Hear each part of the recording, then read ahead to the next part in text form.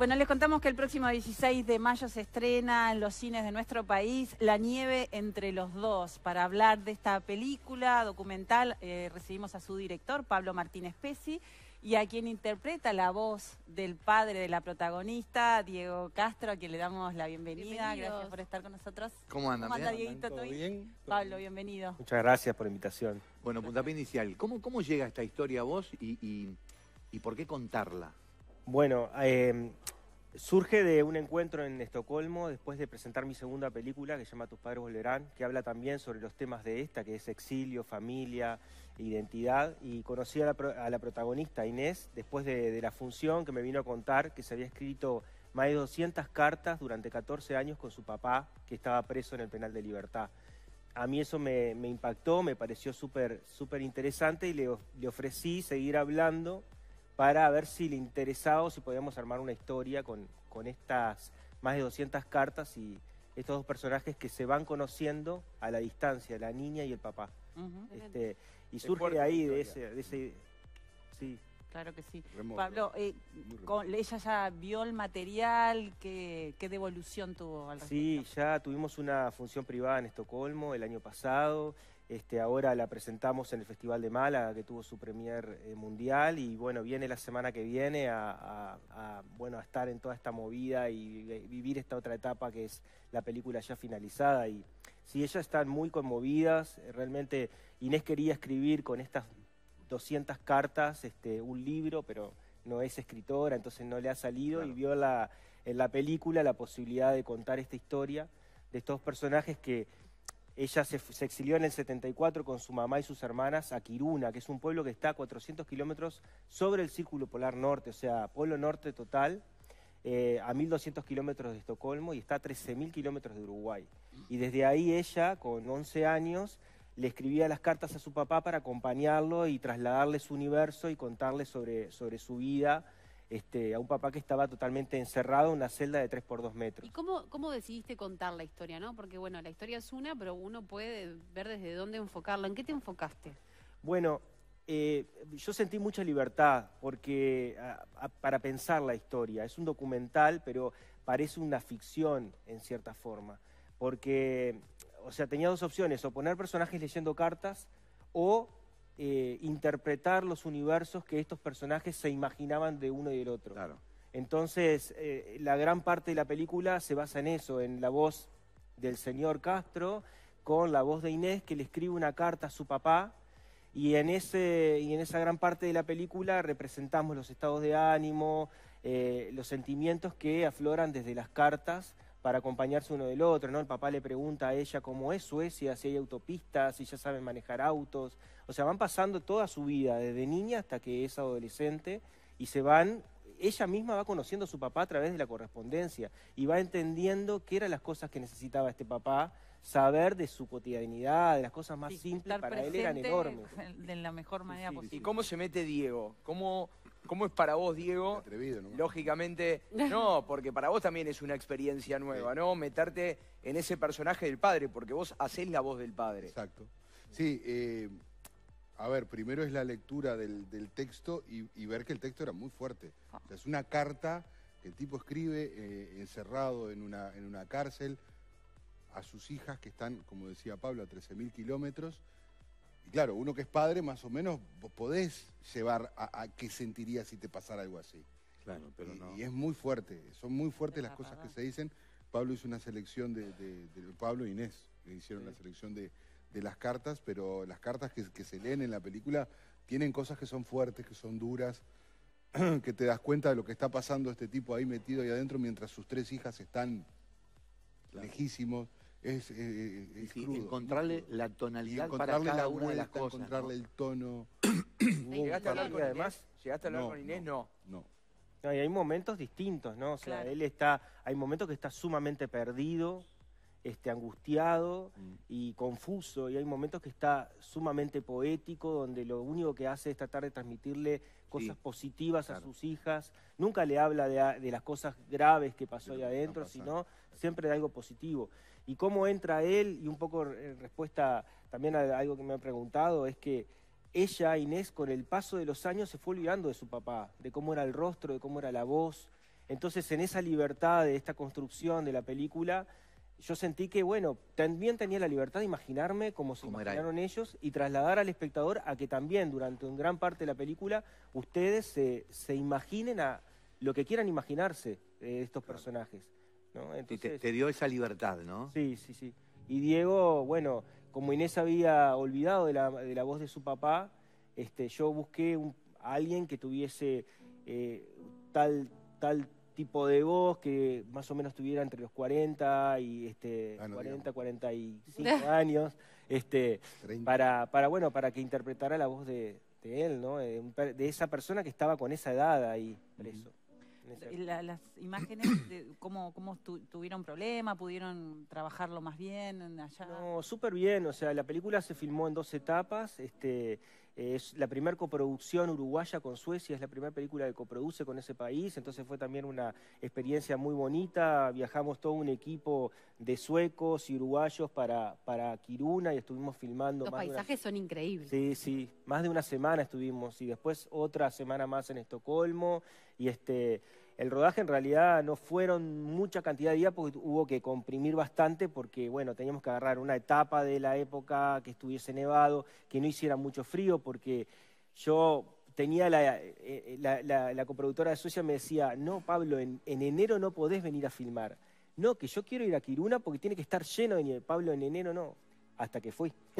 Claro. Y te diste cuenta que no. Y se rompían los plásticos de los trípodes del frío que cuando lo desarmamos, o sea, menos tre- en el medio del, del bosque había menos 30 grados ¿Eh? a, la- a- a las 2 de la No, tarde. claro, imposible. No, no, y este, entonces terminamos filmando en febrero, en, ma- en marzo, ya una, una temperatura de 16 grados bajo cero. Este, pero fue una experiencia hermosa, ¿no? Y, y en- también entender lo que vivió esta niña y sus hermanas y su mamá de pasar, exiliarse Río de la Plata, diciembre, ya la gente yendo de la playa, a irse a- al polo totalmente Claro, opuesto. con Y- otra cultura, otro idioma, Todo. otra- Y otros todo, tiempos. otros Fundamentalmente, tiempos, hoy por hoy escribimos un, mensaje y queremos. Che, no lo claro. leyó. ¿A qué hora me piensa contestar? Y pasaron cuatro minutos. Imagínate escribiendo esa niña No. esas cartas que llegaban y esperaban la respuesta, ¿no? además, si el padre Sí, estaba en la cárcel, eran demoraban. cartas que además estaban controladas de, de qué, Pasaban qué se escribía, Sí, sí, obviamente. que se Exactamente. escribía, y también Claramente. al recibirlas también el tema de... Inés Ahora- dice que ambos estaban presos, o sea, porque Claro. ella no se podía expresar como quería a través de las cartas, él tampoco, y, y demoraban eh, un mes, a veces cuando la, la censuraban, volvían hacia la familia, la familia tenía que reescribirlas y volver a... Entonces cuando la volvía a recibir ya de repente él había mandado tres cartas más. Ahora pienso igual, más allá de toda esta situación terrible, ¿no? La censura y la demora, este, también debe haber sido una forma de salvarse, ¿no? Ese, ese contacto a través de esas, de esas letras, esas palabras. Hermoso. Yo lloraba leyendo las cartas cuando hicimos todo el raconto y la transcripción y eh, una de las cosas que le pasa a él, que escribía como un poeta, eso fue una de las cosas que a mí más me, me atrapó, porque yo sentía ahí que él se liberaba.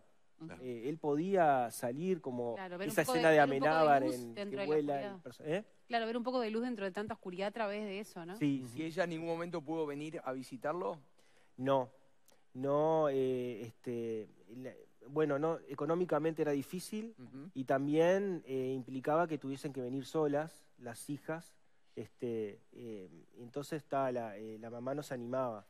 Y incluso cuando tus padres volverán el viaje de los niños del exilio que también eh, se reunieron algunos niños de Suecia la mamá nos animó a enviarlas este a, a ellas que habían venido de los niños que tenían menos de 18 años este, entonces bueno eh, estos dos personajes ahí a pesar de todo este, encuentran mucha luz y, y yo digo que es una película sobre los vínculos familiares, ¿no? Claro. Este, habla de eso en realidad la película. De ¿En qué, cómo en qué año está situada?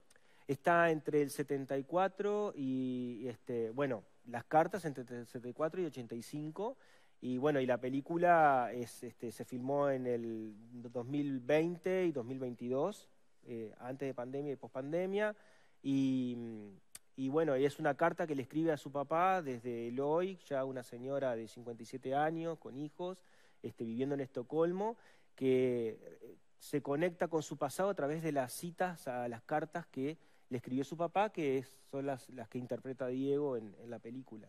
¿Cómo fue el trabajo, Diego? ¿Cuánto, cuánto estuvo- llevó? Estuvo bueno. No, no llevó, no llevó mucho. No llevó mucho porque en realidad hicimos un par de ensayos, le estuvimos buscando los tonos a las cosas que se decían, cómo se decían, porque habían, hay cosas que se dicen que son muy fuertes y que requieren determinada postura, Claro. digamos. Por más que uno no, no sale, no, no, no salís en cuerpo, Claro, sí, sí. la tenés- postura tenés eh, que de darle- la voz, tenés que darle cuerpo, tenés que darle Meterte esa sustancia y meterte en el Claro. personaje. Que digo, es algo que me gusta, que lo hago habitualmente porque ta. Sos Sí, actor. sí, porque te no lleva. soy actor, no soy un rostro. No, sos actor, no te hagas que no, pues doy fe, sos actor. Bueno, eh, entonces, bueno, eh, el, el- el buscarle la vuelta, meterse y después ya eh, meternos directamente en, en- en- en estudio a grabar. Eh, tuvimos un par de ensayos ahí y después ya directamente lo, lo grabamos. Tuvimos una sesión como de tres horas, tres horas y pico, Sí. un poquito más. ¿En algún momento tuviste que tragar saliva? Sí, sí, varios. Sí, sí. Hay varios momentos que. Fa. Lo que pasa que a mí lo que me- yo lo que trato de hacer siempre es leerlo y que todo lo que me pueda pegar me pegue antes que me tenga que sentar a hacerlo. Claro. Entonces, ta- trato de un poco buscarle la distancia, no a lo que siente el personaje, sino a lo que me pasa a mí con lo que leo, Claro. que realmente es fuerte. Pablo, no entendí si Inés ya llegó a ver el documental o no. Sí, lo, lo vio. vio. Sí, sí, Sí. lo vio. ¿Y la reacción le impactó? Sí, sí, o sea, este, ella, yo siempre trato de prepararlos, ¿no? Para, para que sepan cómo, cómo lo que puede pasar después cuando lo ve la gente, la opinión, todo, pero este, sí, eh, eh, en realidad se impactó porque ella estuvo conmigo, filmamos, yo le pedía que hiciera tales y cuales cosas, pero Claro, cuando lo ves después, cuando lo ves Claro, con- la música, lo que hizo, el lugar, cómo lo filmamos, este, sí, sí, está muy contenta, muy contenta. Aparte me acuerdo un día que estábamos en tu casa haciendo toda la previa y vos me mostraste, digamos, una, una- una esquela de la película. Sí, ahí ya pegaba fuertísimo. Sí. No tenía, no tenía música, no tenía... Claro, sí, toda esa ambientación que... Y Exactamente. también es una forma de contar un, un momento tan oscuro de nuestra, de nuestra historia, ¿no? Sí. Este, sí. desde otro lugar. Yo creo que, o sea, el documental y el cine es una herramienta poderosa para hablar y, y reflexionar, ¿no? Y La gente, la- lo que yo quiero es que, eh, bueno, lo que estamos viviendo ahora, que este momento es el que uno busca siempre, ¿no? De que arranca a hacer la película, que la, mostrar la obra y que toque a la, cada uno de nosotros y nos haga pensar o reflexionar sobre nuestro pasado reciente, sobre lo que vivieron cientos de familias y lo que viven hoy Que también. no, claro, más allá de los números, de que son personas, de que son historias, de que eran familias, y eso cuando, cuando decimos el nunca más, que realmente, ¿no? Sí, Nunca que más. lo podemos trasladar al día de hoy, ¿no? Y estamos hablando de, de- de hijos de que vivieron, como todos nuestros hijos, este, viven a consecuencia de nosotros por un tiempo y después se independizan, pero... Claro. pero Cómo afecta a este, toda la que, vida. tuvieron, que echaron raíces en otro lugar, tienen sus hijos, pero que queda una parte de ellos allá y otra Siempre. parte de, de ellos acá. Totalmente. Esa es una de las cosas que a mí más me, cuando imaginaba la situación, más me mataba. Claro. Porque vos decís, yo estoy acá, no me puedo mover, estoy en un, Terrible. en un rinconcito de 3x2 y ustedes, que son mi familia, mis hijas, mi, mi mujer, están a 13.000 kilómetros. Eso es Sí, sí. Durísimo. brutal. No, y las cosas que, como decíamos hoy, las cosas que quería decir y que de repente se las tenía que guardar, porque sabía que de repente si no esa carta no llegaba, este, pero cómo contar, ¿no? Sí. Este, Sí. y, y por sobre todas las cosas, volviendo, volviendo al hoy, escribir en una hoja en blanco. O sea, sí. ya el, el- el puntapié inicial, cuando vos te encontrás con ella y te cuenta, eh, eh, es maravilloso. Sí, sí, el- el- el- un fragmento que usamos como, como tagline de la película es, me has enseñado, Inés querida, que, me puedes, que puedes encerrar un universo en una carta, le dice el papá. O sea, eso es como, da, este, te das cuenta de todo lo que se necesitaba y lo que uno al otro y cómo se acompañaron y cómo fueron creciendo ambos con, Claro. con todo esto. Vos recién, Pablo, decías que tuviste que hacer una selección de esas 200 cartas. ¿Hubo alguna carta que era tan fuerte que no podía entrar? Fa, sí, hay. El papá, igual Juan José este, del Manco, que lo conoce mucha gente por eso, y es protagonista de un cuento de Eduardo Galeano también. Es una persona que ahora tiene, es protagonista de un cuento y de una película. Él, él al escribir trataba de no contar muchas cosas. Pero, por ejemplo, eh, un momento le cuenta de que está dolorido del pie o de algo porque se lesionó jugando al fútbol. Entonces le pide unos remedios o unas cosas. Y vos decís, ¿al fútbol? Mm. ¿Dónde va a jugar al fútbol? Sí, sí. ¿No? Entonces hay cosas, sí, que yo llegué a leer que se le escaparon una o dos, pero, pero por lo general lo ocultaba todo, no le decía. Sí, hablaba de, de, de lo, de lo jodido que estaba en algunos momentos mentalmente y vos este, lo, lo, lo podías apreciar. Había días que estaba muy confundido. ¿Cuántos años estuvo preso?